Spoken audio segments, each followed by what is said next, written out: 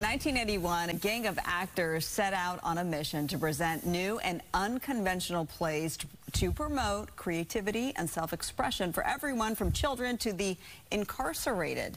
The Actors Gang's latest production, a reinterpretation of the 1921 satire Methuselah or the Eternal Bourgeois, is playing now through December 16th in Culver City. Oscar winner Tim Robbins is a co-founder and artistic director of the Actors Gang.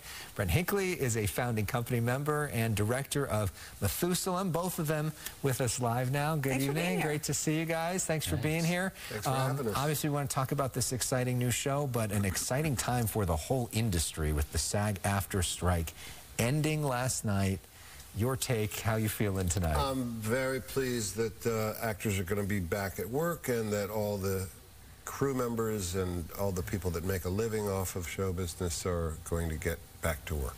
Finally. Your, th your, your thoughts? Uh, yes, it's been a long time coming, and I think uh, negotiations have like finally met uh, a spot where we can move on and go forward. Okay, Absolutely. well, let's move on and talk about Methuselah, right? Uh, uh, because the storyline, as we mentioned, it was first written in 1921, 1922. Uh, there's a strike involved, isn't there, Tim? Yes, there is.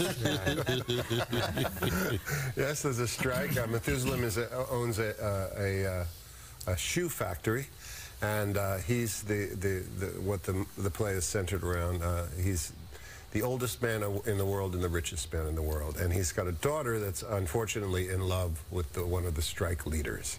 Mm. And hmm. it's, uh, it's, it's a very, very funny play. It's also uh, got scenes that are truly bizarre and surreal. And that's kind of the reason I love the play. We did it back in 1985, right. uh, and Brent was in it, and now Brent is directing this new production. And the director back in 1985, what did you think of him? Because that was of oh. course, Tim directed uh, it back in 1985. Yeah, he was some young spark plug. I yeah. didn't believe a word he said. It was all highfalutin, and, and uh, he was P.T. Barnum. Yeah. but uh, the circus was created.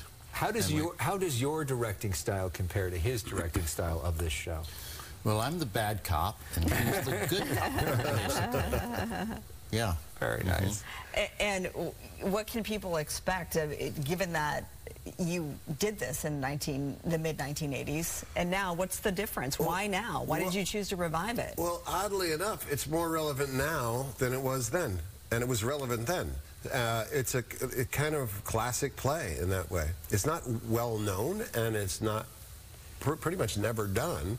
But that's the kind of plays we love to do at the Actors Gang, mm -hmm. is unearth these little gems from the past and give them new life in this new time. And for people that haven't seen the Actors Gang before, can you tell us a little bit about what you guys do and what it's all about?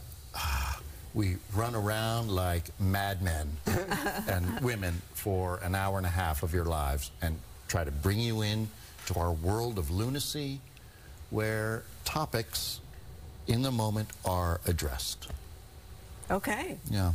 Well, you went to UCLA. Did. And you were you were struggling to become an actor, and then this one here gave you a shot. What's this relationship like?